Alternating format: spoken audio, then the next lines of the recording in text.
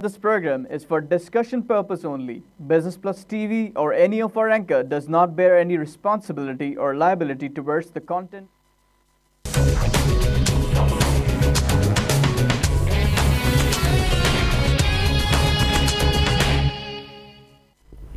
वालेकुम business lunch के साथ मैं हूँ आपकी होस्ट महानूर अली नाजिन बिज़नेस लंच में आज काफ़ी इन्फॉर्मेटिव हम बातें करेंगे और ख़ास तौर से उन लोगों के लिए जो कहते हैं कि अपने मुल्क में रहते हुए भी बाहर मुल्क का सोचते हैं, क्यों सोचते हैं वो रीज़न आपको पता है, कहा जाता है कि पाकिस्तान में बेपना पोटेंशल मौजूद है टैलेंट मौजूद है, लेकिन रोज़गार के जो मौाक़े हैं अपॉर्चुनिटीज़ हैं, वो कम होती जा रही हैं। और ये भी कहते हैं कि गुज्तर कई दहाइयों से अमन अमान की जो सूरत हाल है, वो कभी बेहतर होती नज़र आती है कभी बिगड़ती नज़र आती है तो फिर समझ नहीं आता कि वो शख्स जिसके पास टैलेंट भी है और जो पोटेंशल भी रखता है तो वो कहाँ जाए? तो ऐसे में कोशिश ये की जाती है कि यूरोप, अमेरिका या फिर कनाडा जो है, वहाँ जाकर रोज़गार के मौाक़े तलाश किए जाए या वहाँ जाके आप हायर स्टडीज़ के लिए जाएँ, वहाँ पर जाके या फिर मुकम्मल अपनी जो रिहाइश है, वो कर ली जाए। कनाडा एक ऐसा मुल्क है जहाँ पे कहते हैं कि मुलाजमत के मौके तो चलें, बहुत ज़्यादा हैं। लेकिन अगर आप मुकम्मल तौर पे वहाँ पे रिहाइश इख्तियार कर लें तो कुछ उनकी लॉन्ग टर्म्स बेनिफिट्स हैं जो आपको मिलते हैं। और आज का जो प्रोग्राम है, इसी हवाले से हम बात करेंगे कि कनेडियन इमिग्रेशन किस तरह काम करती है या स्टूडेंट जो वहाँ पर आला तालीम हासिल करना चाहते हैं, वो वीज़ा कैसे अप्लाई करें या कैसे हासिल करें, इसके लिए हमारे जो मेहमान हैं, पहले उनका तारुफ करवाऊँगी ताकि वो हमें इन्फॉर्मेशन दे सकें कि चेंजिंग जो आई हैं, वो किस सिलसिले में आई हैं और क्या वजह है और क्या वो बेहतरी के लिए आई हैं या फिर उसके से हमें थोड़ा डर जाना चाहिए। तो हमारे जो गेस्ट हैं, पहले उनका तारुफ आपसे कराऊँगी। हमारे साथ मौजूद हैं आमिर इस्माइल साहब member immigration consultants of Canada regulatory council अस्सलाम वालेकुम आमिर साहब कैसे हैं वालेकुम सलाम। बहुत शुक्रिया आपने मुझे एक बार फिर अपने प्रोग्राम में मदू किया। बहुत शुक्रिया कि आप आए क्योंकि आपके पास बहुत कम टाइम होता है देने के लिए क्योंकि अभी आपने प्रोग्राम से पहले जब मुझे बताया कि बहुत कभी होता है कि शॉर्ट टाइम के लिए आते हैं उसमें मिलना भी होता है लोगों से और फिर सेमिनार्स भी होते हैं लोगों को कि काउंसलिंग भी कर रहे होते हैं। तो मेरे जहन में आपकी इन तमाम बातों को रखते हुए मैं अभी लेके चलूँगी बाकी प्रोग्राम लेकिन नाजरीन जो सवाल आया जहन में कि मैंने तो सुना था एन सेमिनार करती हैं या फिर किसी काम के सिलसिले में सेमिनार होता है लेकिन ये इमिग्रेशन या कोई वीज़ा इसके लिए भी सेमिनार होता है ये कुछ थोड़ा मुझे डिफरेंट सा लगा ना। लाइक क्या क्या रीज़न होती है क्या वजह है? पहले ये बताइए इस बारे में थोड़ा सा बताएँ बाकी फिर आपके बारे में जानते हैं और फिर लोगों को बताते हैं कि किस तरह अप्लाई करें। देखिए एक तो ये कि हमारी जो प्रेजेंस है वो टोरंटो में है हम्म। और हमारे जो क्लाइंट्स हैं वो पाकिस्तान में हैं या मिडल ईस्ट में हैं। हम्म। तो अच्छा रहता है कि जो इमिग्रेशन कवानीन हैं उनमें मुसलसल चेंजेस आते रहते हैं सही तो हम फिर कोशिश करते हैं कि लोगों को अपडेट करें हम्म। जब हम कनाडा में होते हैं जैसे टोरंटो में हम्म। हमारा हेड ऑफ़िस है तो वहाँ से हम आज की जो टेक्नोलॉजी है उसको फ़ायदा उठाते हुए स्काइप से और कभी और तरीक़ों से वीडियो कॉन्फ्रेंसिंग से कर लेते हैं लोगों से हम्म। रबते लेकिन फिर मैं समझता हूँ ये ज़्यादा मुनासिब रहता है कि आप आइए आकर के लोगों से बिलमुशाफ़ा मुलाकात करें और वन टू वन कंसल्टेशन दें उनको और कुछ लोग चाहते हैं कि वन टू वन हो ज़रा प्राइवेट भी हो क्योंकि मामला ऐसा है कि आप आ, सोच रहे हैं अपने मुल्क को छोड़ करके दूसरे मुल्क की सुकूनत अख्तियार करने के लिए। हम्म। तो वो नहीं चाहते कि लोगों को इतना डिस्क्लोज हो। तो वो प्राइवेटली डिस्कस भी करना चाहते हैं। तो उसके लिए बेहतर रहता है कि आप आएँ। तो हमारे हम्म। जो कराची में ऑफ़िस है या फिर हम लाहौर या इस्लामाबाद ट्रैवल करते हैं तो उसमें या तो हम स्मॉल सेशन रखते हैं इन्फॉर्मेशन सेशंस या फिर वन टू वन हम कंसल्टेशंस कर लेते हैं। तो उसमें लोगों ज़्यादा कामयाब क्या रहता है साहब मेरा ख्याल है वन टू वन कंसल्टेशन में थोड़ी सी आपको पर्सनलाइजेशन हो जाती है थोड़ा सा आपको उस, उस शख्स के बारे में भी पता चल जाता है कितना इंटरेस्ट और मौका मिलता है आपको बैकग्राउंड जानने का उनका अच्छी तरह। सेमिनार्स में ये होता है कि आप एक जनरल बात कर देते हैं उसके बाद सबके लिए सबके लिए। इसमें ये कि आप कस्टमाइज बात करते हैं और जो सोल्यूशन है उनकी एजुकेशन बैकग्राउंड और लैंग्वेज स्किल्स और दूसरे जो फैक्टर्स इसमें अवामिल होते हैं हम्म। उसको मद्देनज़र रखते हुए आप उनको फिर सही मशवरा मोस्ट एक्यूरेट एडवाइस दे सकते हैं क्या कोई ऑप्शन उनके लिए बेहतर है या हम्म। नहीं है अगर है तो कैसे बढ़िए और अगर नहीं है तो फिर वक्त और पैसा ज़ाय करने की ज़रूरत नहीं है। और ये मशवरा आप ज़ाहिर बात है जेनवन होता है इसीलिए आप देते हैं कि भाई अगर आपके पास नहीं है वो स्किल या वो आपके पॉइंट्स नहीं है सब कुछ तो आप नहीं अप्लाई करें। ये बेहतर ये है। बेहतर ये और ये कि ये जो इन्फॉर्मेशन है सिलेक्शन क्राइटेरिया है क्योंकि अब अवेलेबल है ऑनलाइन होता है गवर्नमेंट ऑफ़ कैनेडा की वेबसाइट पर भी होता है तो अक्सर लोगों को मालूम होता है कि वो क्वालिफाई कर रहे हैं या नहीं। लेकिन वो ओपिनियन लेना चाहते हैं ऐसे शख्स से जो कि रेगुलराइज हो लाइसेंस हो गवर्नमेंट ऑफ़ कैनेडा की तरफ़ से और साल साल से काम कर रहा हो तो उसको एक्सपीरियंस होता है। तो वो चाहते हैं कि हम या तो सेकंड ओपिनियन लें या ये कि कहीं लोकली बहुत से लोग हैं जो कर रहे हैं ये काम इमिग्रेशन कंसल्टिंग का। तो उन्होंने मशवरा दिया होता है उसको रिकन्फर्म करना चाहते हैं। ऐसे अक्सर लोग मेरे पास आते हैं जो कहते हैं जी हम तो बिल्कुल क्वालिफाई करते हैं लेकिन हम उनको फिर बताते हैं कि नहीं आप नहीं क्वालिफाई कर रहे क्योंकि आपके जो पास कि आपने बताया कि जो नेशनल लोग हैं जो यहाँ पे हैं जो काम हाँ, कर रहे हैं जो अनलाइसेंस हाँ, बहुत सारे लोग बैठे हैं यहाँ पर। तो मशवरा सही होना चाहिए और लोगों के हक में होना चाहिए ताकि उनको सही गाइडेंस मिले। उनकी जो हार्ड अर्न मनी है वो सही जगह पे सर्फ हो रादर सही। देन कि वो खाम खा उसको खर्च भी करें और हासिल भी उनको कुछ ना हो। सही। अभी लास्ट प्रोग्राम में जब आप मेरे पास आए थे तो आपने बड़ा अच्छा मशवरा दिया था और मैं समझती हूँ लोगों को ये चीज़ें जाननी भी चाहिए। जब आप इतना इतना बड़ा स्टेप ले रहे हैं कि अपने मुल्क से आप दूसरे मुल्क जाके रिहाइश इख्तियार करना चाहते हैं तो आपके एटलीस्ट आपको इतनी नॉलेज होनी चाहिए कि आप इंटरनेट के थ्रू जाके सब कुछ गूगल पे पड़ा हुआ है और तमाम अथेंटिक चीज़ें हैं जिससे आप मालूम कर सकते हैं। और आपने ये बताया भी था कि क्यों अपना वक्त ज़ाया करें बनस्बत इसके कि आप जाके पहले इस तरह देखिए अपनी रिसर्च करना बहुत ज़रूरी है। ऐसा नहीं हो सकता कि आप किसी के पास जाएँ और वो आपको मशवरा दे कि जनाब आपका काम हो सकता है तो आप ब्लाइंडली उस पर ट्रस्ट करें। अपनी इन्फॉर्मेशन रखें। और ज़रूरी भी नहीं कि आप किसी को हायर करें। ये कोई ऐसा कोई शर्त भी नहीं है। अच्छा। लेकिन। अगर आप हायर करना चाहते हैं आप खुद भी प्रोफेशनल हैं आप चाहते हैं प्रोफेशनली काम हो तो कम अज़ कम आपको ये खुद भी पता होना चाहिए कि आप कहाँ स्टैंड करते हैं। फिर आप ओपिनियन भी लीजिए। उसमें ये है कि थोड़ा सा बेहतर हो जाता है। सही। Yeah. लेकिन ज़रूरत ये है कि प्रोफेशनली रहते हुए काम किया जाए ज़्यादा अच्छा रहता है। फिर आपको कोई वो क्या कहते हैं कि भाम नहीं रहता कि। जिसका या ये नहीं होता कि नहीं भाई ये नहीं होगा या क्या इस तरह। अच्छा यहाँ पे मैं अपने नाजिन को बताऊँगी कहा जिस तरह मैं कहा कि जिस तरह पाकिस्तान में पोटेंशियल है सब कुछ है। मगर हम थोड़ा बहुत ही देखते हैं कि लूप होल्स हैं कि भाई नहीं हमें मौाक़े मिल रहे हैं। तो ऐसी सूरत में जो मैंने तमाम चीज़ें बयान की आप कितना एग्री करेंगे कि तालीम तालीम की अगर बात करें पाकिस्तान में तो एशिया की जो एक लाख यूनिवर्सिटीज़ हैं। कहा ये जाता है कि पाकिस्तान की किसी यूनिवर्सिटी का उनमें नाम नहीं है? तो इस ये देखते हुए क्या कहेंगे? कहाँ तक ये बात सही कि हाँ चलो अगर आप देखिए हमारे तो मुल्क में टैलेंट टैलेंट भी है रिसोर्स भी हैं और बेहतरी के मौाक़े भी हैं। मतलब बेहतर होने के लिए रूम मौजूद है। लेकिन जिन लोगों को फौरी तौर पे ज़रूरत है कि वो हायर एजुकेशन लें और मैारी लें तो वो अक्सर रुख करते हैं मुख्तलिफ़ दूसरे ममालिक का। कनाडा के लिए मैं इसलिए इनक्रेज करता हूँ कि कैनेडियन गवर्नमेंट जो है वो स्टूडेंट्स को ख़ास तौर से ज़्यादा वैल्यू करती है। क्योंकि उनको पता है कि स्टूडेंट जो है हमारे पास आएँगे तो अपने ही खर्चे पे पढ़ाई करेंगे सही और कैनेडियन एजुकेशन ले लेंगे। फिर उनकी जो अंग्रेज़ी है उसकी सलाहियत भी बेहतर हो जाएगी। तो वो एक बेहतर वर्कर के तौर पे सामने आएँगे।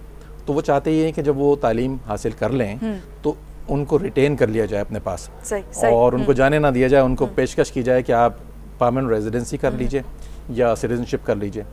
तो स्टूडेंट्स जो बहरहाल पाकिस्तान के अंदर भी अच्छा टैलेंट है और बहरहाल स्किल वर्कर्स जो जा रहे हैं वो पढ़ाई कहीं और से नहीं पाकिस्तान से करके जाते हैं। तो अच्छी तालीम तो है और अच्छा टैलेंट भी है। बाकी ये कि उसको यूटिलाइज अगर हम यहाँ नहीं कर पा रहे हैं तो ये थोड़ा सा एक अलमिया है जिसको शायद हम अल्लाह करे कि आगे जाके फ्यूचर में ओवरकम कर अल्लाह करे अल्लाह करे। आमिर साहब पहले ये बताइए कि इमिग्रेशन पॉलिसी जो है उसमें आए दिन जो चेंजेस आती रहती हैं अभी भी कोई चेंजिंग आई है और अगर आई हैं तो वो किस किस्म की चेंजिंग आई है? क्योंकि लोग ये कहते हैं कि इसी वजह से यही वो वजह है जिसकी वजह से शायद आप भी ये कहते हैं कि प्रोफेशनल लोगों से काम कराया जाए तो ज़्यादा बेहतर उन्हें पता होगा कि अपडेट क्या है। जी हाँ ये जो नई गवर्नमेंट आई है हमारी लिबरल गवर्नमेंट जिसके प्राइम मिनिस्टर काफ़ी फ़ेमस हैं आजकल जस्टिन ट्रूडो उन्होंने जब इलेक्शंस हो रहे थे तभी उन्होंने काफ़ी सारी इंडिकेशंस दे दी थी कि हम इमिग्रेंट के साथ ज़रा ताउन करेंगे उनके लिए बहुत बेहतर पॉलिसीज़ को लेके आएँगे। अभी जो इनका प्रोग्राम है एक्सप्रेस एंट्री के नाम से उसमें जो पॉइंट्स एलोकेशन है जिस तरीके से उसकी वजह से काफ़ी सारे प्रोफेशनल्स जो कि हाईली क्वालिफाइड हैं वो भी क्वालिफाई नहीं कर पा रहे या सिलेक्ट नहीं हो पा रहे। तो वो पूल ऑफ़ एप्लीकेंट बनाते हैं जहाँ पर आप अपनी एप्लीकेशन डालते हैं। वहाँ पर काफ़ी सारे लोग जो हैं अभी भी इंतज़ार कर रहे हैं। हाँ। तो गवर्नमेंट ने इस बात को रियलाइज़ किया अभी वो कंसल्टेशन अक्टूबर में कर रहे हैं और नवंबर में शायद इम्प्लीमेंटेशन भी हो जाए उन चेंजेस का जिसके तहत काफ़ी सारे पॉइंट्स एलोकेशन को चेंज करेंगे जिसकी वजह से एक तो जो पास रैंक जो बड़ा हाई चल रहा है वो शायद नीचे आ जाए। नीचे और उसकी वजह से बेहतरी है ताकि उनको ज़्यादा लोग ले सकें वो पूल में से। अभी तक इसलिए नहीं ले पाए क्योंकि पुराना बैकलॉग था तो वहाँ से लोग आ जा रहे थे लेकिन अब पूल में से उनको अगर लेना है एप्लीकेंट्स को तो वो नीचे करेंगे। और मज़ीद चेंजेस वो इंट्रोड्यूस करेंगे जैसे कि पॉइंट्स देंगे उन लोगों को जिनके के सिबलिंग्स हैं बहन भाई हैं कनाडा में तो उन लोगों के लिए अच्छी न्यूज़ है कि जिनके बहन भाई हैं तो उनको बेहतरी बेहतर हो सकता है उनके लिए। तो आने वाले दिनों में। आने वाले तो बेहतर ये है कि अगर आपके ताल्लुक इस्तवार अगर आपको करने हैं अपने बहन अगर नहीं है तो अभी कर लीजिए क्योंकि उनकी ज़रूरत पड़ेगी। और अगर हैं ऑलरेडी तो बेहतर कर लीजिए क्योंकि वो एक डिसाइडिंग फैक्टर साबित हो सकते हैं आपकी इमिग्रेशन में। अगर आपके पास बहन भाई वहाँ पर कैनेडा में हैं। या सही। अच्छा अभी जिस तरह आपने बताया है अभी आपने एक्सप्रेस जो उसका बताया है मुझे याद पड़ता है कि एक्सप्रेस एंट्री थोड़ा सा मैं चाहती थी इसकी डिटेल लोगों को बताएँ। जी। लास्ट प्रोग्राम में जब आप आए थे शायद इसका स्टार्ट था या क्या इसका ज़िक्र आया था कहीं बिल्कुल। वो जनवरी तो उस- 2015 में स्टार्ट हुआ था। और बेसिकली एक्सप्रेस एंट्री नाम है फ़ाइल मैनेजमेंट सिस्टम का। अक्सर लोग मेरे पास आते हैं कहते हैं मुझे स्किल वर्कर में जाना है या मुझे एक्सप्रेस एंट्री में जाना हाँ। है। बेसिकली वो दोनों एक ही चीज़ हैं। ओके स्किल वर्कर प्रोग्राम में आप क्वालिफाई करते हैं और जिस सिस्टम में आप अपनी एप्लीकेशन को आप डालते हैं उसका नाम है एक्सप्रेस एंट्री एक्सप्रेस का वर्ड से पता चल रहा है कि तेज़ी से। यानी वीज़ा का इजरा जो है वो तीन से छः महीने में हो जाता है। ओके तो उसमें लेकिन वेट नहीं करना पड़ता नहीं करना ज़्यादा। पड़ता। लेकिन नेचुरली आपको वेट उसके लिए करना पड़ता है कि आपकी बारी आए। बारी उन लोगों की आती है जो कि क्वालिफाइड हैं। एक्स्ट्रा क्वालिफाइड हैं। यानी दो उन्होंने स्टेप्स रखे हैं। एक तो क्वालिफाइड तो, है दूसरे एक्स्ट्रा जी तो अगर आप क्वालिफाइड हैं तो आप पूल में दाखिल हो जाते हैं। लेकिन पूल में दाखिल होना ऐसे ही जैसे आपने यूनिवर्सिटी का एग्ज़ाम देकर एडमिशन टेस्ट देकर आप दाखिल हो गए। लेकिन डिग्री आपको उस वक्त मिलेगी जबकि आप बेहतर परफॉर्म करेंगे। इसी तरह से पूल में जब आप आ जाते हैं तो आप फिर compete कर रहे होते हैं रैंक हो रहे होते हैं दूसरे एप्लीकेंट से। हाँ। तो मिनिमम क्राइटेरिया जैसे अंग्रेज़ी का छः बैंड है। आप सिक्स बैंड्स लिए आपने और आपके 67 पॉइंट्स बन गए आप पूल में दाखिल हो गए। लेकिन पूल में दूसरे लोग बैठे हैं जो कि 7.5 8 आपसे भी 9 ज़्यादा, बैंड्स बिल्कुल। उनका रैंक आपसे ज़्यादा है और आप कम हैं। तो मेरा मशवरा तमाम लोगों के लिए है जो कि एक्सप्रेस एंट्री को कंसीडर कर रहे हैं स्किल वर्कर को। कि आप अपनी अंग्रेज़ी को या तो बेहतर बनाइए और अगर आप बेहतर हैं लगी तो थी कि स्किल वर्कर जो है अगर एक आइडियल है तो वो कैसा कैंडिडेट होना चाहिए? देखिए एक आइडल कैंडिडेट ऐसा कैंडिडेट है जो कि यंग है। अ, पहले 49 इयर्स की एज थी लिमिट सॉरी अब जो है वो एज लिमिट उन्होंने 35 कर दी है और 35 के बाद हर साल एक नंबर काटते हैं। यानी बिल्कुल उनका जो इंटेंशन है वो वाजह है कि हमें स्किल वर्कर में यंगर लोग चाहिए। सही, तो अगर आप सही। 25 टू 35 के दरमियान हैं एज वाइज एजुकेशन वाइज भी वो चाहते हैं कि आप हाईली क्वालिफाइड हों यानी आपके पास कम से कम थ्री इयर्स बैचलर्स है। या मास्टर्स पाकिस्तानी मास्टर्स जो पुराने मास्टर्स हैं वो यकीनन दो साल की ग्रेजुएशन के बाद दो साल का मास्टर्स हो जाता है सोलह साल की तालीम में। या तो आप सोलह या फिर अठारह साल वाले मास्टर्स हैं या पीएचडी हैं और एक्सपीरियंस वाइज आप कम अज़ कम वन टू टू ईयर्स या उससे ज़्यादा हैं। Language wise that is the deciding factor language अंग्रेज़ी और वही सबसे बड़ा बैरियर भी है कनाडा में जॉब के हसूल के लिए। लोग जाते हैं हाँ। उनको मुश्किल हो दिक्कत होती है। तो गवर्नमेंट ने रियलाइज़ कर लिया कि हमें अंग्रेज़ी पे तवज्जो ज़्यादा देनी है। तो अंग्रेज़ी के अंदर अगर आपका आइलेट्स जो अंग्रेज़ी का सही, टेस्ट है। उसमें अगर आपका स्कोर सेवन से नीचे है तो आप शायद समझ सकते हैं कि आपकी बारी ना आए। Okay. Seven seven point five eight eight point five और नाइन तक है।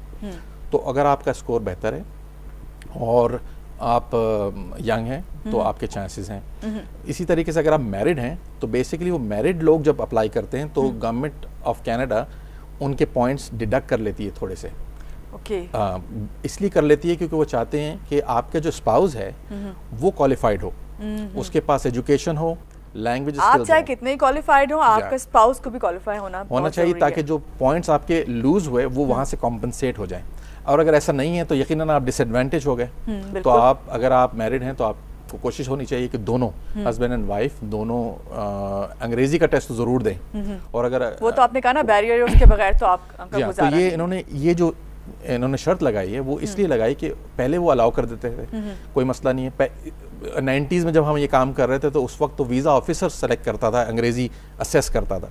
बाद में अंग्रेज़ी का टेस्ट डाल दिया क्योंकि वो बड़ा ऑब्जेक्टिव है। अब उन्होंने कहा कि अंग्रेज़ी का टेस्ट जो है वो उसमें हमें स्ट्रिक्ट होना पड़ेगा।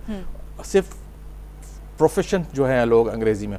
और अब हमारे प्राइम मिनिस्टर साहब जो हैं वो क्वेबेक प्रोविंस से हैं वो फ्रेंच प्रोविंस है तो वो चाहते हैं कि जो फ्रेंच के नंबर हैं वो भी डाले जाएँ। ओके तो ये भी एक बेनिफिट है। अगर आपको फ्रेंच आती तो है तो अभी है लेकिन उसका वेटेज कम है। अभी. सिर्फ़ चार नंबर का है लेकिन वो मजीद आने वाले वक्त में अ, हाँ, तो आपको फ्रेंच अगर आप बेहतर कर लें तो एक ideal candidate young fluency in English and French education wise graduate वगैरह। वर्क एक्सपीरियंस उसके पास होना चाहिए अच्छा और एक ख़ास लेवल पे होना चाहिए। लोअर लेवल का जो एक्सपीरियंस है जैसे कि कैशियर लेवल है ट्रैवल एडवाइजर्स हैं या नीचे जो क्लार्क्स हैं वो उनको कंसिडर नहीं करते। एटलीस्ट सुपरवाइजरी लेवल या मैनेजरियल लेवल हो तो फिर आप क्वालिफाई कर सकते हैं। हाँ। अच्छा ये आपने बहुत अच्छी बात बताई है कि लोगों की बात समझ जानी चाहिए कि इंग्लिश जो खासतौर से जो आपकी लैंग्वेज है उसमें आपको फ्लुएंट होना ज़रूरी है और सबसे बड़ी बात ये कि आपका स्पाउस भी उसी लेवल पे हो क्वालिफाई कर सके ताकि वो क्वालिफाइड होना चाहिए।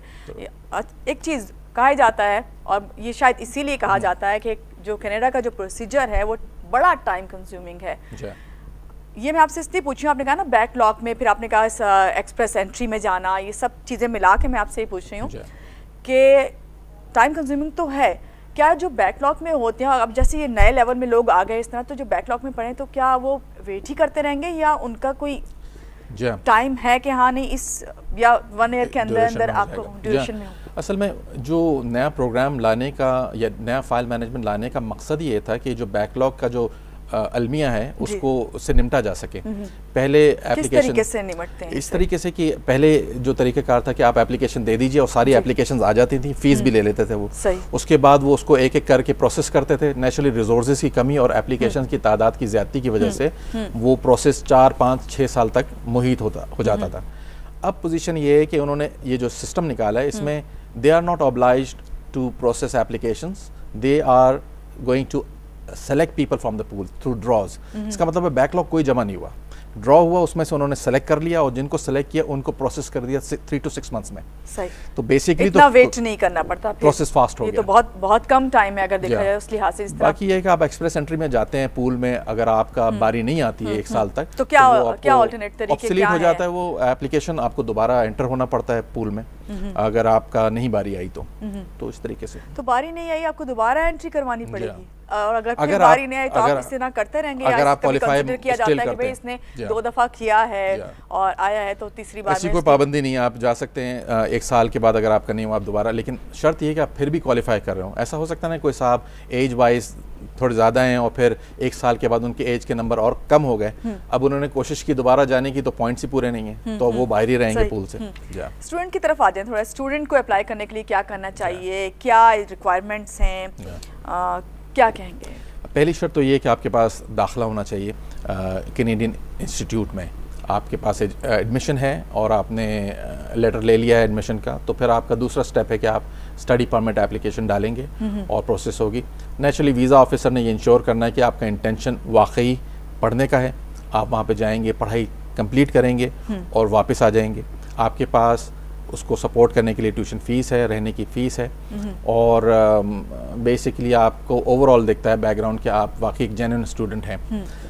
लेकिन ये भी साथ में बात है कि कैनडा चाहता है कि आप जब स्टडी करने के लिए आए जैसे हमने शुरू में बात की कि आप यहाँ पर मुस्तकिल क़याम भी कर लें वो ऑप्शन ता, देता है ताकि वो उनसे हासिल की हुई तालीम जो है वहाँ पे उनके लिए अप्लाई भी हो सके। तो पोस्ट ग्रेजुएट वर्क परमिट वो आपको दे देते हैं।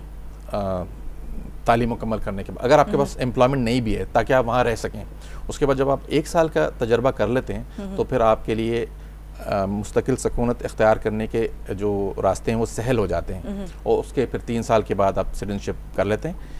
एक अच्छी बात यह है जो गवर्नमेंट अब मज़ीद इम्प्लीमेंट करेगी पहले पिछली गवर्नमेंट ने उसको ख़त्म कर दिया था लेकिन ये गवर्नमेंट इरादा रखती है कि उसको करे इम्प्लीमेंट कि जो वक्त स्टूडेंट गुजारता है कनाडा में उसका आधा सिटीजनशिप की तरफ़ काउंट कर ले। यानी सिटीजनशिप Okay. के लिए आपके लिए लाजिम है कि आप तीन साल रहिए कनाडा में एज ए परमानेंट रेजिडेंट। फिर आपको फिर मिलती है। स्टूडेंट ने फ़र्ज़ किया कि तीन साल गुजारे तो उसका हाफ़ जो हाफ़, है। हाफ़ से मुराद ये कि मैक्सिमम वन ईयर। तो वन ईयर भी बहुत, बहुत बेहतर है कि आप जल्दी सिटीजन भी बन जाते हैं। बाकी और दूसरा तरीका अच्छा एक चीज़ और आमिर साहब ज़रूरी तो नहीं है कि हर स्टूडेंट जो है वो अनमेरिड हो। ऐसा हाँ। भी होता होगा कि मैरिड भी होते हैं स्टूडेंट जो कि वहाँ जाना चाहते हैं। लेकिन उनके जहन में शायद यही बात है कि भाई अगर हम जा रहे हैं तो सिर्फ़ हम ही जाएँगे क्योंकि हम पढ़ने के लिए जा रहे हैं। क्या ऐसा है कि उनके साथ उनके स्पाउस जाएँ या उनके अगर बच्चे हैं तो बच्चे भी जाएँ?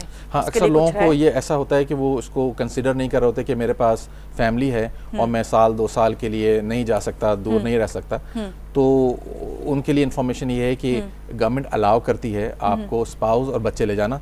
ऑफ़ कोर्स अगर आपके पास अहलियत है फाइनेंशियली उनको भी सपोर्ट करने की। सही। अच्छी बात यह है कि जब आपके स्पाउस आपके साथ होते हैं आप एज ए स्टूडेंट जा रहे हैं आप पढ़ना चाहते हैं पढ़ाई करेंगे आप यकीनन और 20 आवर्स पर वीक आप जॉब भी कर सकते हैं। सही। लेकिन स्पाउस को भी वो ओपन वर्क परमिट दे देते हैं। There is a word use open open से मुराद ये है कि आपके स्पाउस कहीं भी जॉब कर सकते हैं। उनको एम्प्लॉयर की ज़रूरत नहीं वहाँ जाके ढूंढ लें।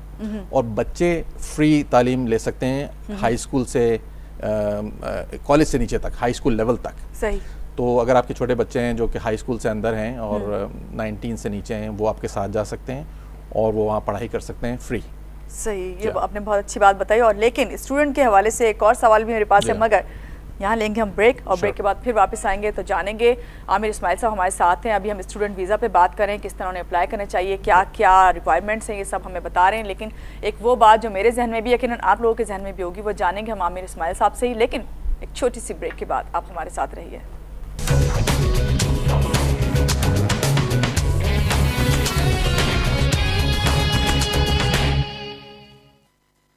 जी, जनाब ब्रेक से आगे वापस बात हो रही है। Rules and regulation of Canadian immigration पे, और कहा जाता है कि सबसे मुश्किल भी है, और लेंथी प्रोसेस भी है वेटिंग भी, पे भी रहते हैं आप, और जिस तरह मैं आमिर साहब, मेरे साथ आमिर इस्माइल साहब, इनसे बात करी थी ब्रेक से पहले स्टूडेंट वीज़ा के हवाले से, कि उनके लिए क्या रिक्वायरमेंट्स हैं, किस तरह अप्लाई करना चाहिए। उन्होंने ये तक बताया कि अगर हमारे जहन में जो सवाल था कि भाई स्टूडेंट हैं तो शायद अपने स्पाउसिस को नहीं लेके जा सकते, अपने किड्स को नहीं लेके जा सकते, लेकिन आपने बहुत ब्रीफ बताया कि इस तरह नहीं है और बहुत सहूलतें दी हुई हैं। शायद इसी वजह से लोग जो हैं कोशिश करते हैं कि वहाँ चले जाएँ। लेकिन उससे पहले कि कोई और मैं आपसे बात करूँ तो मैंने आपसे कहा था कि मैं एक ऐसा सवाल जो हम सबके जहन में है और उसका विक्टम है क्योंकि लोग इस वजह से। जब भी इमिग्रेशन की अप्लाई करते हैं या कहते हैं कि स्टूडेंट वीज़ा में ख़ास तौर से फ्रॉड है फ्रॉड का वर्ड जब आता है तो बड़ा बड़ी तकलीफ़ भी होती है और जिसने इतना अपने लाइफ का तमाम पैसा और तमाम अपना सरमाया और सोच सब कुछ उसने उस पर लगाई होती है उसका कुछ ऐसा हो जाए। चाहे हज़ारों में किसी एक के साथ हो तो फिर वो बात आगे बढ़ती चली जाती है और बड़ी तकलीफ़ दे होती है। फिर सबको जो है थोड़ा स्खेरी होके थोड़ा बहुत ज़्यादा कहना चाहिए कि सोच समझ के फैसला करना पड़ता है और ऐसे लोगों के पास जाना पड़ता है जो वाकई प्रोफेशनल हो। ये हम बार बार कह रहे हैं। जी हाँ इसमें ये है कि जो गवर्नमेंट ऑफ़ कनाडा के हवाले से मैं ये कहूँ कि गवर्नमेंट ऑफ़ कनाडा ने बहुत पहले ये रियलाइज़ कर लिया था हम्म। कि जो इमिग्रेशन कंसल्टिंग है इसमें ह्यूमन लाइव्स इन्वॉल्व हैं और बिल्कुल। और लोगों के पैसे इन्वॉल्व हैं। हम्म, तो हम्म। इस इंडस्ट्री को रेगुलराइज करना पड़ेगा और कुछ कायदे कवानी इंट्रोड्यूस करने पड़ेंगे। और इसीलिए उन्होंने एप्लीकेंट्स पे भी ये लाजिम कर दिया कि अगर आपने किसी रिप्रेजेंटेटिव को लेना है तो वो आप इंश्योर करें कि उनको लाइसेंस मिला हुआ है। आप कैसे इंश्योर करेंगे? नेचुरली आप जाएँगे सीआईसी जो उनकी वेबसाइट है जो ऑफिशियल वेबसाइट है कैनेडियन इमिग्रेशन उसमें आप देखेंगे कि वो आपको बाकायदा मशवरा दे रहे हैं कि आप पहले ये देख लें कि ये जो लाइसेंसिंग बॉडी है जैसे हमारी है immigration consultant Canada regulatory council वहाँ पर वो शख्स ये साहिबा वो रजिस्टर्ड हैं प्रॉपर लाइसेंस नंबर है। क्योंकि हमारा प्रॉपर तरीके से ऑडिट होता है हम लोग आंसरेबल होते हैं गवर्नमेंट ऑफ़ कैनेडा को रेगुलेटर को। तो कम अज़ कम कंज्यूमर जो है उसको ये जहनी सुकून होता है कि हम किसी प्रॉपर शख्स से बात कर रहे हैं। हमारा। नुकसान नहीं होगा। इंश्योरेंस लेके हमें चलना पड़ता है। खुदा न खास्ता हमारी तरफ़ से एरर हो जाए नेग्लिजेंस हो जाए जिसके बायस क्लाइंट का कोई नुकसान हो जाए तो हम वन मिलियन डॉलर के इंश्योरेंस लेके चलते हैं अपने साथ। ये हमारे पर लाजिम है मेंबरशिप को मेंटेन करने के लिए। फिर सीपीडी पॉइंट्स हम लोग करते हैं हमेशा अपडेट रहना पड़ता है सेमिनार्स हम्म। अटेंड करके वगैरह हम्म। तो इसका फ़ायदा सारा सा जो है वो कंज्यूमर को पहुँचता है बेसिकली हम्म। तो अगर आप कंसीडर कर रहे हैं किसी को रिटेन करने के लिए कि आप उसकी रहनुमाई में एप्लीकेशन को डालें तो आप ये इंश्योर करें पहले कि प्रॉपर तरीके से ऑथराइज है या नहीं क्योंकि नुकसान हो सकता है यहाँ पर पाकिस्तान में मसला ये है कि लोकली लोग खोल लेते हैं और वो आंसरेबल नहीं गवर्नमेंट ऑफ़ कनाडा को और कोई मेंबरशिप फ़ीस भी नहीं देते सही, हैं सही। और कोई मेंटेन भी नहीं मगर मासूम लोग तो उनका हाँ, वो तो विक्टिम बन जाते हैं ना उन, फिर उससे रसाई ये हो सकती है कि भाई आप लोकली उनको डील करें हम्म। और गवर्नमेंट ऑफ़ कनाडा को कहते हैं तो वो भी कहते हैं भाई वो हमारा सिटीजन नहीं है हमारे हम्म। लिए लाजिम है हम कैनेडियन सिटीजन हो तो ही हमें लाइसेंस मिले तो फिर नेचुरली हमारी जो पूछगछ है हम्म। वो यहाँ पे जो लोकली अवेलेबल एजेंट्स हैं हम उनको घोस्ट एजेंट कहते हैं क्योंकि वो अपना नाम भी ज़ाहिर नहीं करते okay. अगर वो अपना नाम ज़ाहिर करेंगे एप्लीकेशन में तो एप्लीकेशन रिफ्यूज़ कर देगी गवर्नमेंट ऑफ़ कैनेडा तो हम फिर यही मशवरा देते हैं कि अगर आपने लेना ही है किसी को तो आप फिर किसी प्रॉपर कंसल्ट इस वक्त तीन हज़ार ऐसे रिप्रेजेंटेटिव हैं जो, जो मोस्टली और मोस्टली कैनेडियन कनाडा में और सारे कैनेडियन सिटीजन हैं। हम्म, हम्म। और लाइसेंस हैं उनके पास। जी हाँ बिल्कुल। सही। अच्छा आ, जिस तरह आपने कहा कि घोस्ट लोग जो हैं जिन्हें आप कहते हैं घोस्ट हैं ये जो लोकली कर रहे हैं जिनका नाम ही नहीं है तो क्या इस तरह की एप्लीकेशंस कबूल की जाती हैं? क्या ये ज़रूरी नहीं है कि जब तीन हज़ार इस तरह काम कर रहे हैं ऑलरेडी तो वो काफ़ी नहीं है कि उनके थ्रू ही काम कराया जाए। हाँ बिल्कुल ऐसा ही है लेकिन ये कि जो घोष एजेंट है उसका मकसद तो आपसे पैसे लेना है। सही। आपको जो फ़ायदा बेसिकली आप किसी को पैसे इसलिए देते हैं कि वो आपको रिप्रेजेंट करेगा गवर्नमेंट हम्म, से बात करेगा आपके बिहाफ पे। अब वो वो सर्विस आपको दे नहीं पाता क्योंकि अपना नाम डिस्क्लोज नहीं कर पाता। वो कहता है मैं बैक सीट पे बैठूँगा आप ही ड्राइव कीजिए। हाँ तो इससे समझ जाना चाहिए फिर खुद ही आपको पता होना चाहिए कि गलत हो रहा है एक हम्म। यूज़ ऑफ़ रिप्रेजेंटेटिव फॉर्म होता है उसको फिल करना ज़रूरी है। उसमें अपने आप को ज़ाहिर करना ज़रूरी है अपना लाइसेंस नंबर देना ज़रूरी है। अगर कोई साहब इससे अवॉइड कर रहे हम्म। हैं तो यकीनन फिर उन, उनके पास लाइसेंस नहीं है और वो चाहते हैं कि आप खुद ही रिप्रेजेंट कर लें अपने आप को हाँ। उनकी मदद से बहरहाल। सही। तो पेमेंट ऐसे शख्स को लेना कैनेडियन कानून के हिसाब से जायज़ नहीं है। जायज़ नहीं है बिल्कुल। अच्छा आमिर साहब एक चीज़ और मैं आपसे जानना चाहूँगी कि जिस तरह आपने ये सब बताया है ख़ास तौर से ये कि जब इमिग्रेशन की बात करते हैं ट्रेंड बहुत ज़्यादा पाकिस्तान में हमने ये भी देखा कि अमेरिका है यूरोप है इंग्लैंड है वहाँ जाना चाहते हैं लोग लेकिन सबसे ज़्यादा कहते हैं कन्वीनियंट जो है कनाडा का ही है। क्या. कहेंगे कि वाकई ऐसा है जबकि इधर जो मुझे नज़र आ रहा है मुझे लगता है जब आप बातें बता रहे होते हैं मुझे लगता है कितना मुश्किल है इससे बेहतर है पाकिस्तान में रहो। क्या ज़रूरत है भाई? सब हाँ। कुछ यहाँ है। देखिए ना कवानीन तो मुल्क की ज़रूरत के हिसाब से बनते हैं। और हम्म। कनाडा मशहूर है इस बारे में कि उसने हमेशा ही वेलकम किया है। अभी हम्म। भी आप देखें पूरी दुनिया से वो रेफ्यूजीज़ ले रहे हैं। अभी सीरियन रेफ्यूजीज़ को वेलकम किया उन्होंने हम्म। जबकि south of the border US में रेजेंटमेंट है कि ऐसा नहीं होना हम्म, चाहिए। हम खुले दिल से कर रहे हैं काम। तो पॉलिसी के हवाले से हम्म। और नंबर ऑफ़ पीपल जो कनाडा लेता है साल भर में जो इमिग्रेशन लेवल्स हैं मैं आपसे ये। क्या पूछने मैं वही लिख रही थी कि मैं अब ये पूछूँगी मैं अक्सर भूल जाती हूँ तो मैं वो पॉइंट लिख रही थी कि कितने हर साल कितने हाँ, तो हर साल हमें जैसे इमिग्रेशन लेवल्स का अनाउंसमेंट हर साल के अवाइल में होता है और हम्म। वो पूरे पूरे साल के लिए होता है तो टारगेट मीट करना चाहते हैं तकरीबन ढाई लाख से तीन लाख के दरमियान अफराद कनाडा को चाहिए होते हैं मुख्तलिफ़ कैटेगरीज हम्म, में जिसमें स्किल वर्कर जो कैटेगरी है जिसमें बेशतर लोग उसी में जा रहे होते हैं जिनके पास एजुकेशन है हम्म। एक्सपीरियंस है लैंग्वेज के होते हैं वो तकरीबन डेढ़ लाख से एक लाख पचहत्तर हज़ार के दरमियान हम्म। अभी पता नहीं मैं यहीं रिसर्च में शायद पढ़ी थी दो लाख अस्सी हज़ार। जी, दो दो वेटिंग बिजनेसमैन भी हैं और दूसरे रेफ्यूजीज भी हैं। सही सही सही। तो उससे तादाद बढ़ जाती है। तो ऐसा नहीं होता कि अगर ढाई लाख हो गई या दो लाख कुछ. हैं तो वहीं रोक दिया जाए फिर मजीद जो है एप्लीकेशन ना ली जाए। बेसिकली एप्लीकेशन तो ली जाती रहती हैं लेकिन जो लोग लैंडिंग करते हैं उसके ऊपर डिपेंड करता है जो सब दिसंबर तक। अच्छा हाँ। जो सबसे पहले हाँ इकतीस दिसंबर तक वो कैलकुलेट कर लेते हैं कितने लोग लैंड किए Okay. और फिर वो स्टैटिस्टिक्स बाकी पीछे अगर जो रह गए तो वो उनको बाद में कंसिडर किया जाएगा? नेक्स्ट ईयर में आ जाएँगे। नेक्स्ट ईयर में आ जाएँगे। अच्छा. थर्टी तक जो है आपको कंसिडर किया जाएगा कि अगर आप लैंड करते हैं सही। बिजनेसमैन का आपने ज़िक्र किया। जी। बिजनेसमैन अफराद जो हैं वो कैसे जा सकते हैं? उनके लिए क्या रिक्वायरमेंट्स हैं? असल में ताजिर के सर पे तो ताज होता है। तो हाँ, उसके पास तो अगर पैसे कहीं भी हैं अपने ताज की बेस पे जो है जा सकता है। तो होता यही है कि बिजनेसमैन के लिए दो तीन ही क्राइटेरिया मेजर हैं। नंबर वन कि उनके पास सरमाया है हम्म। यानी नेटवर्थ उनकी है ख़ास जो किरण कानून के हिसाब से है वे, वेरी करती है प्रोविंशियल प्रोग्राम हम्म। से लेकर इन्वेस्टर प्रोग्राम के दरमियान। एक तो उनके पास सरमाया है असासे हैं और सबसे इंपॉर्टेंट बात एक मैनेजमेंट एक्सपीरियंस भी है यानी ऐसा नहीं है खाली इन्वेस्ट कहीं पे किया बल्कि वो मैनेज भी हम्म। करते हैं तो सलाहियत है बिज़नेस को। और सबसे इंपॉर्टेंट बात ये है कि जो भी सरमाया जो भी असासे उनके पास हैं क्या वो पेपर ट्रेल के थ्रू उसको हम्म। वाजे कर सकते हैं या नहीं? यानी टैक्स रिकॉर्ड्स हैं। यानी वो उसको जस्टिफाई कर सकते हैं कि ये जो मेरी नेटवर्थ है आज जहाँ पे मैं खड़ा हूँ पहले तो स्टार्ट कहाँ से हुई? हम्म। और उसका तरीक़ाकार क्या रहा? तो जहाँ पर नेटवर्थ है और आप जस्टिफाई नहीं कर पाते जो कि बेशतर मैं देखता हूँ यहाँ पर क्योंकि टैक्स का रिकॉर्ड का सिस्टम लोग नहीं रखते हैं फाइनेंशियल स्टेटमेंट्स नहीं होती हैं।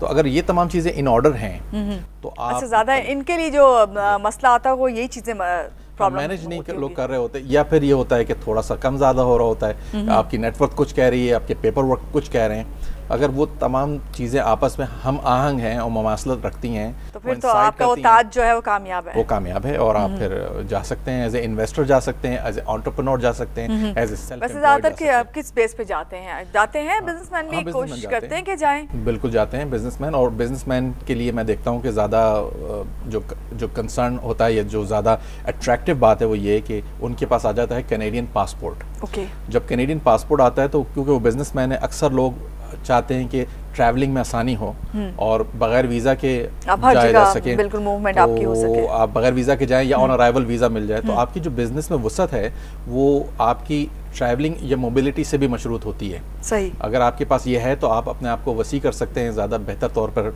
बिज़नेस को एक्सपेंड कर सकते हैं। ऑर्डर्स लेने जाना है फ़र्ज़ किया या कोई निगोशिएट करने जाना है यूरोप में अब आपने अपना पासपोर्ट दिया हुआ है और आप लाइन में लगे हुए हैं कि अभी तक पासपोर्ट वापस नहीं आया पता चला वो डेट निकल गई Okay. तो बिजनेसमैन चाहते हैं कि थोड़ा सा कुछ इस तरह से हो जाए सिस्टम हम्म। फिर ये कि बीवी बच्चों को अगर वो छोड़ना चाहते हैं वहाँ पर अम, पढ़ाई के लिए ये ये भी है उन्हें बेनिफिट्स हैं ये वाले हाँ यकीनन जब आप परमानेंट रेजिडेंट हो जाते हैं हम्म। तो बच्चे आपकी फ्री तालीम करते हैं हाई स्कूल तक और हाई स्कूल के बाद भी जो कॉलेज या यूनिवर्सिटी वो हाईली सब्सिडाइज्ड है हम्म। उसके ऊपर ऑन टॉप ऑफ़ दैट बच्चे जो है लोन ले सकते हैं प्रोविंशियल गवर्नमेंट से उस हम्म। पढ़ाई को करने के लिए तो वर्चुअली आप स्पेंड करते हैं बहुत स्मॉल अमाउंट और जो तालीम है वो मैारी मिल जाती है आपको कनेडियन तालीम। हम्म। फिर ये कि हेल्थ बेनिफिट्स अपनी जगह पर हैं और सेफ्टी सिक्योरिटी तो वो तमाम चीज़ों को। मद्देनजर रखते हुए लोग ये डिसीज़न लिया करते हैं। आमिर साहब जो सवाल मुझे शुरू में आपसे करना चाहिए था मेरा ख्याल है उसके रीजंस मैंने खुद भी बताई इंट्रो में अपने।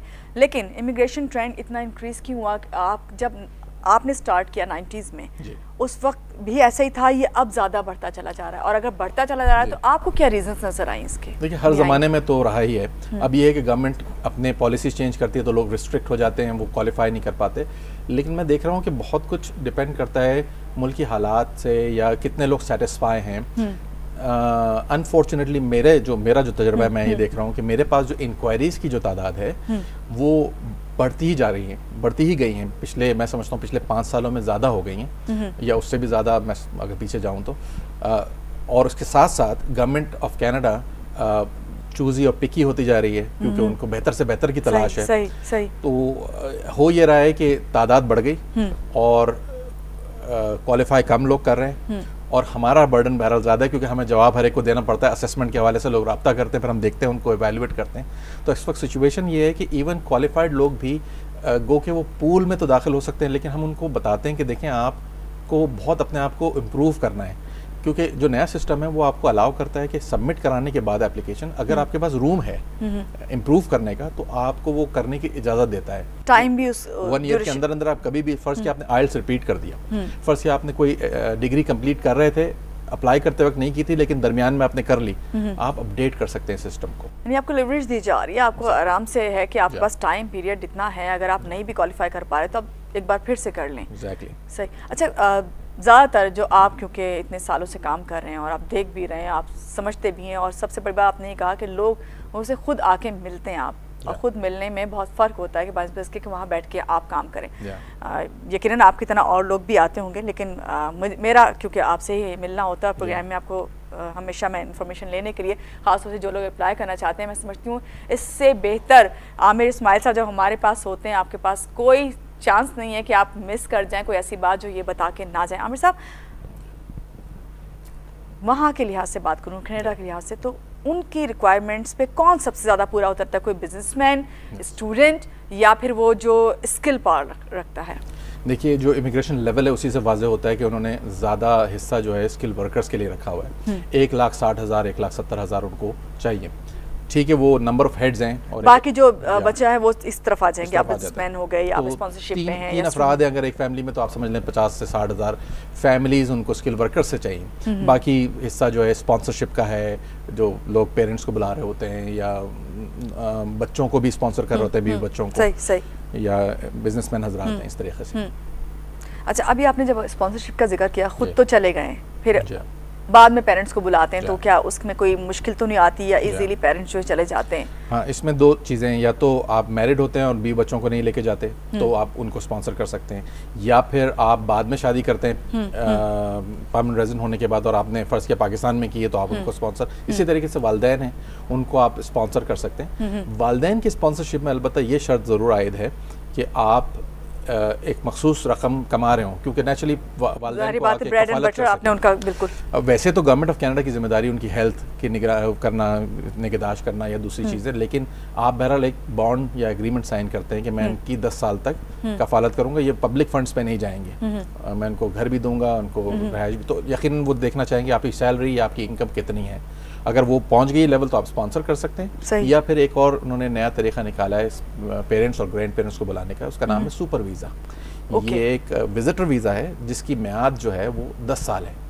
अच्छा विजिटर वीज़ा जो कि पेरेंट्स के लिए ग्रैंड पेरेंट्स के लिए है जो कि दस साल है। और अमूमन आप विजिटर वीज़ा पे जब जाते हैं तो कितने ही ड्यूरेशन का दे अमूमन पाँच साल का मैक्सिमम मल्टीपल पाँच साल का मिलता है। लेकिन एंट्री आपको बहरहाल छः महीने की मिलती है हर मरतबा।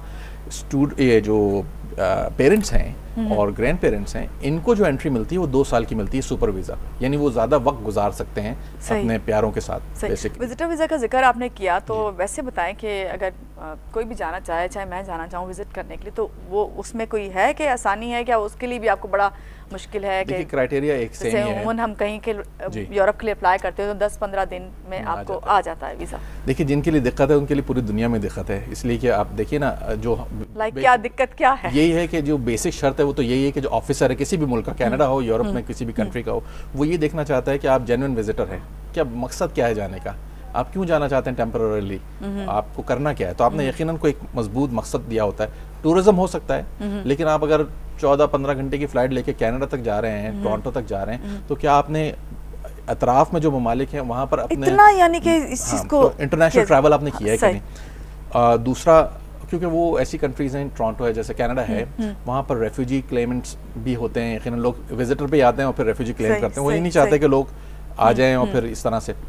तो हालाँकि उनकी पॉलिसी बिल्कुल वाजह है रेफ्यूजीज के हवाले से कि वो उनको वेलकम भी करते हैं लेकिन नेचुरली वो एक आप चाहते हैं कि बैकग्राउंड चेक करें लोगों का कि वो वाकई हैं कि नहीं। तो विजिटर में ये कि जेनवन हो और आप उनको कंफर्म करें कि जो आपके टाइज हैं होम कंट्री के साथ वो इतने मज़बूत हैं कि वो आपको दोबारा मकदन तीस की तरह खींच के वापस ले आएँगे। फैमिली टाइज यहाँ पे हैं एम्प्लॉयमेंट है बिज़नेस है एसेट्स हैं। सही तमाम वेरिफिकेशन आपकी होनी चाहिए। और और कनाडा का मेरा अपना पर्सनल ओपिनियन ये है कि जो विजिटर वीज़ा है वो कदरे मुश्किल इस हवाले से कि जो रिफ्यूज़ल रेट है for Pakistanis is on higher side I don't know why क्यों? ये तो मैंने इसलिए बल्कि मैं अभी आपसे बात पूछने लगी थी कि कौन से की जो इश्यूज़ हैं जो। पाकिस्तान जी। में हैं जो पाकिस्तानियों को हैं? एक्चुअली जो कंट्री कोई भी है विजिटर तो चले फिर आप छोड़ देना वो चलो वो नहीं बुला रहे हैं। आपको नहीं विजिटर वीज़ा मिलने वाला भाई। आप जाएँ आप स्टूडेंट बन नहीं के are so many Pakistani who visit as well no ऐसा नहीं है कि नहीं देते देते हैं ज़रूर लेकिन बड़े छानबीन के बाद। बड़ा इसके लिए स्ट्रांग होना चाहिए इसके लिए बहुत स्ट्रांग होना चाहिए आपका बैकग्राउंड और सब चीज़ें। और जन्म मैं देख रहा हूँ बड़े स्ट्रांग वाले भी अमेरिकन वीज़ा लगा तो भी रिफ्यूज़ हो जाता है। तो ऑफिसर जो विजिटर वीज़ा का मुझे आपसे बात। पूछनी है लोगों का बड़ा ये होता है भाई हमारा तो बड़े दावे से उनका वो पासपोर्ट वो जाता है वो कहते हैं हमारा तो ये लंदन का भी लगा अमेरिका का भी लगा। अभी हम पूरे यूरोप का राउंड करके आ चुके हैं लेकिन रिफ्यूज हो गया। तो ऑफिसर के ऊपर है क्योंकि वो क्या देख रहे होते हैं आपने कहा ना ये चीज़ भी देखते हैं कि भाई यहाँ कहीं और भी उन्होंने विज़िट किया हुआ है या नहीं तो हाँ।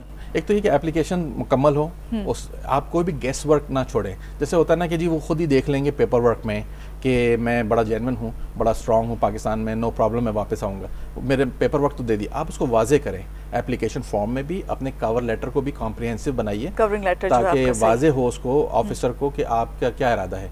तो फिर रिफ्यूजल के चांसेस कम हो सकते हैं। Having said that the officer of of a visitor visa in a non-immigrant visa section has a lot of discretion at his disposal तो उनको ट्रेन इस तरह से किया जाता है कि आप चांस ना लें। जैसे इमिग्रेशन अप्लाई करते हैं तो आपका एक क्राइटेरिया सेट है। पॉइंट्स हैं कोई स्ट्रॉन्ग रीजन ही होगा तो रिफ्यूज करेंगे। विजिटर वीज़ा में कोई सेट क्राइटेरिया नहीं है। More of a gut feeling as well वो उनको रिफ्यूज कर सकते हैं किसी भी छोटी सी बुनियाद पे।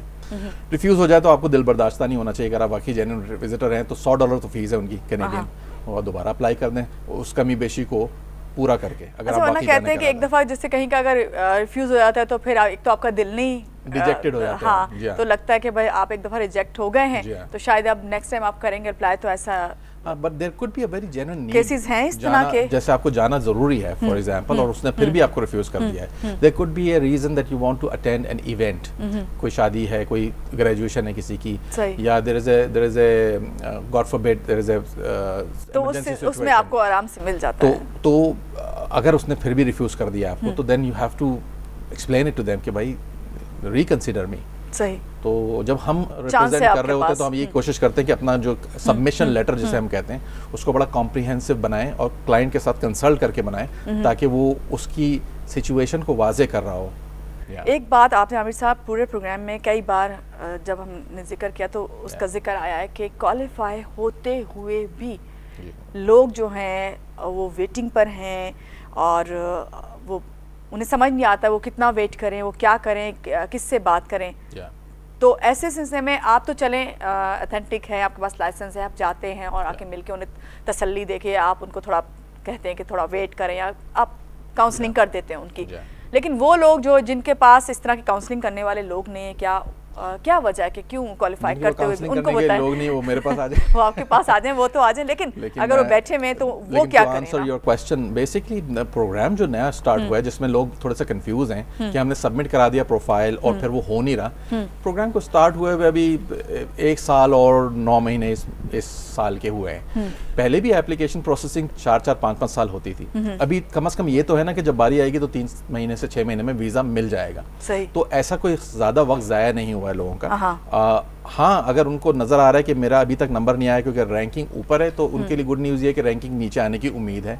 सिबलिंग्स हैं तो और फ़ायदा हो जाएगा हम्म। तो थोड़ा सा थोड़ा सा पेशेंस ज़रूरी है। अगर हम्म। एक दफ़ा एक्सपायर भी हो गया तो क्योंकि सूरत हाल अच्छी नज़र आ रही है light at the end of the tunnel है तो आप कम अज कम दोबारा बना लीजिए। प्रोफ़ाइल और एक साल और देके देखें इसको।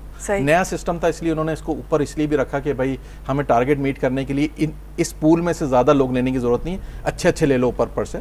बाकी हम जो है वो बैकलॉग जो पुराना था क्योंकि हम्म। जब ये नया सिस्टम आया तो उस वक्त भी तो बहुत बड़ी तादाद लोगों की वेट कर रही थी पुराने सिस्टम बिल्कुल बिल्कुल तो हम्म। इनके लेवल्स तो पूरे होते रहे हम्म।